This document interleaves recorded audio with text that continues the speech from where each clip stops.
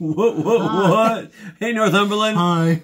I'm John. I'm Chris. And we are two thirds of the, Fidgets. and we're pumped about seeing you guys coming up really, really soon uh, in February. So buy your tickets. It's going to be a crazy show, family friendly improv. And at the very end, we're actually going to blindfold ourselves and walk barefoot on mouse traps that you guys sell. Live so mousetraps. Get on it. The record is 434. And we heard a rumor that you guys couldn't beat that. So what do you think of that? John said it. I think he I, can. I did say I it think actually. He can. Speaking of record breakers, I'm looking forward to seeing my good friend Kevin Otter.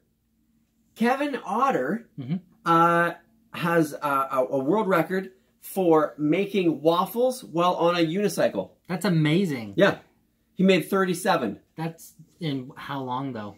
17 hours. Okay. Well, I mean, just lead that part. It's It's, just- impressive for It's what just it is. new. It's a new thing. No, it's it's good. Um, Ben Snoke actually is uh is a, an actual waffle maker. He runs the International House of Pancakes, all of them. Really? Yeah, Wouldn't it um, be International House of Waffles? Uh, no, no, I how? No, see, he was gonna do the waffle Oh. thing, and uh, weirdly enough, it, it just sounds weird when you say it on the sign. IHOP just sounds so much better, No. and he's got one leg, so you know. Wow. Hey, speaking of hopping, Yes. Uh, my good friend Larissa Caulfield. Mhm. Here's why I'm looking forward to seeing her. Every time I see her, she gives me a rabbit. Every time. Every single time. Is that why you have that half a rabbit? It's kind of weird. I was hungry, No, I know, but and rabbit tastes good. they do. Mm, that's weird. Um, Trish Davies is actually a big rabbit fanatic, so I, I wouldn't I wouldn't say Now, that. how do you mean fanatic? Well, okay, so she used to actually raise small rabbits uh, when she was younger, and um, about that.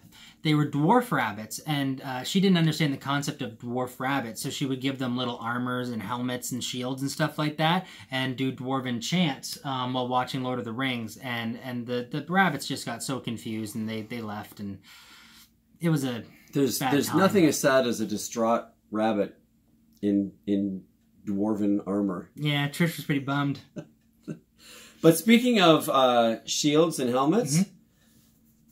there's actually, you guys don't know this, one of the original Canadian superheroes works at your school. Oh, She was the model for Thor. Huge hammer, really? Doesn't put up with anything. Wilma Van Barneveld. She's dangerous and amazing. She swings hammers. oh yeah, she's got. It's not even a hammer. It's like a. What's bigger than a hammer? A sledgehammer. A sledge hammer. What's bigger than a sledgehammer? A sled. A sled. It's a sled hammer. Weird. Yeah. Actually, um, did she work for Jeremy? Jeremy Holden? Probably. He does a construction company. He he's a good friend of mine. We've been friends for I don't know, at least thirty five years, and I'm thirty two, so that's weird. But his construction company was so good, they built eighteen houses in eighteen hours. There was three hundred guys working on this project, and Mm-hmm. hundred and fifty women, uh, eighteen kids. Um, oh, sorry, it was eighteen hundred kids. That's right. Um, it, it closed down because he had a lot of child labor and stuff. Oh. But not like that. It was all just family and stuff. But it still was kind of washy, and also the houses kind of fell apart. So Because it- kids can't swing can't hammers. Kids can't swing hours. hammers. That's really what it comes Concrete down to. won't even set in 18 hours. That's true. Yeah, that kid found that out. His leg got stuck for like at least an hour and a half.